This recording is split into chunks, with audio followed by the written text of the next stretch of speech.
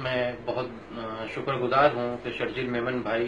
जो है, वो, उन्होंने छिपा फाउंडेशन पे और रमज़ान छिपा पे जो है भरोसा किया। ये वो ताज हैं कि जो उनकी वतन वापसी पर जो है उनके हल्के से उनके जो है, वो